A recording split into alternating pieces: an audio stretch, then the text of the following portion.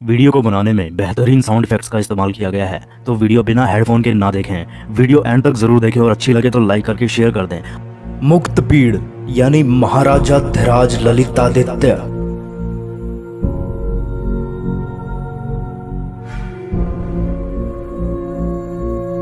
सन 319 ईस्वी भारत में गुप्त साम्राज्य का दबदबा बढ़ने लगा। हर जगह खुशहाली थी। भारत ने सदी का प्रचंड स्वर्ण काल देखा। धीरे धीरे गुप्तों का प्रभाव कम होने लगा। सन चार स्कंद गुप्त इस वंश के आखिरी प्रतापी शासक थे। सन 500 ईसवी, गुप्त कमज़ोर पड़ने लगे। भारत में बुराइयाँ फिर से जन्म लेने लगी। सन 510 भानुगुप्त के शासनकाल में सती प्रथा का प्रथम साक्ष्य मिला। सन 570 ईस्वी, गुप्त साम्राज्य का पतन हुआ। विष्णुगुप्त गुप्त वंश का अंतिम शासक था। भारत का गोल्डन पीरियड समाप्त हुआ। गुप्तों के बाद कई छोटे मोटे शासक बने, लेकिन वो इस विशाल भारत को संभाल न पाए। इस सब के बाद सामने आया गुप्तोत्तर काल इस काल में जो वंश हावी रहा, वो था पुष्यभूति वंश। सन 606 महाराजा हर्षवर्धन ने अपने राज में कई नए काम किए, लेकिन वो इतने प्रभावशाली नहीं थे जितने हमने गुप्त वंश में देखे। लेकिन कहानी यहीं खत्म नहीं होती। अभी तो इतिहास में एक और महाराजा धीराज को जन्म लेना था। सन 627 दुर्लभ वर्धन ने कारकोट वंश की स्थापना की। इस वंश में एक ही प्रतापी शासक हुए।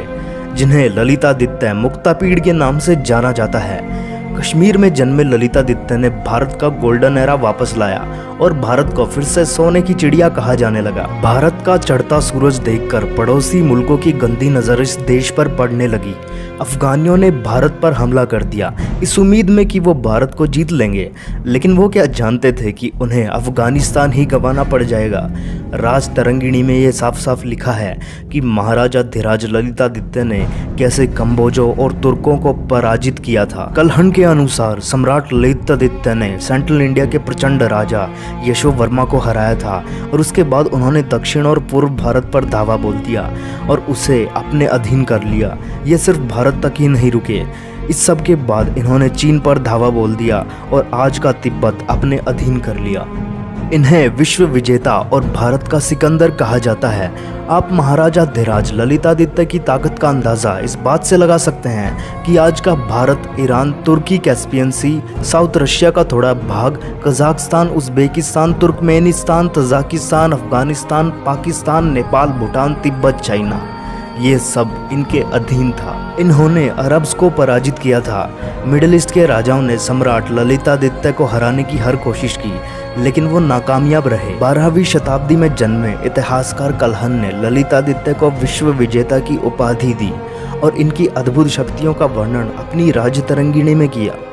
सम्राट के ऊपर कई सारे किताबें लिखी गई हैं।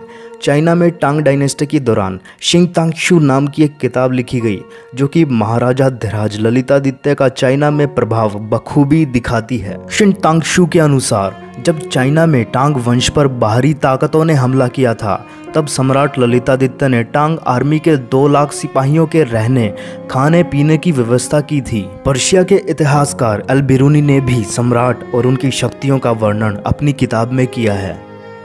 चीन और ईरान जैसे देशों का सम्राट ललित आदित्य की शक्तियों का वर्णन ये साफ़ साफ़ दिखाता है कि वो कितने महान रहे होंगे और उनका कितना प्रभाव रहा होगा इन देशों में। कलहन के अनुसार ललितादित्य ने 36 साल 7 महीने और 11 दिन दुनिया पर शासन किया था। बताते हैं कि जब सम्राट ललितादित्य ने महाराज यशोवर्मा को पराजित किया था तब यशोवर्मा ने ललितादित्य के सामने शांति अमन का प्रस्ताव रखा। इस संधि का नाम यशोवर्मा ललितादित्य संधि था। लेकिन मित्र शर्मन, जो ललितादित्य के मंत्री थे, उन्होंने इस ट्रीटी के टाइटल पर आपत्ति जताई। उन्होंने कहा कि संधि का नाम यशो वर्मा ललितादित्य नहीं, बल्कि ललितादित्य यशो वर्मा संधि होना चाहिए। जीतने वाले का नाम पहले आना चाहिए। अपने मंत्री की ये बात सुनकर सम्राट ललितादित्य प्रसन्न हो गए और संधि ना करके यशो वर्मा को उनका राजपाठ लौटा दिया। इस खुशी में यशोवर्मा ने खुद को सम्राट को सौंप दिया और उनके मंत्री बन गए। जब ललितादित्य ने भारत को एक करने की मुहिम छेड़ी थी, तब यशोवर्मा को वो अपने अधीन कर बंगाल की तरफ़ बढ़े थे, जिसमें अनगिनत हाथियों को लेकर उन्होंने बंगाल को रौंद डाला था। पूर्व की भूमि और सागर को जीतने के बाद वो साउथ इंडिया की तरफ़ कूच कर दिए, जहाँ कर्नाटा राजवंश बिना उनसे दो दो हाथ किए उनके सम्मान में झुककर खड़े हो गए। इस समय पूरे दक्षिण पथ यानी आज के दक्कन पर महारानी रत्ता का राज था। आप रत्ता देवी की ताकत का अंदाज़ा इस बात से लगा सकते हैं कि इन्होंने विंध्याचल पर्वत पर ऑब्स्टेकल फ्री दर्रों का निर्माण करवाया था और पूरे दक्कन में इन्हें शेरा वाली माता दुर्गा की तरह पूजा जाता था।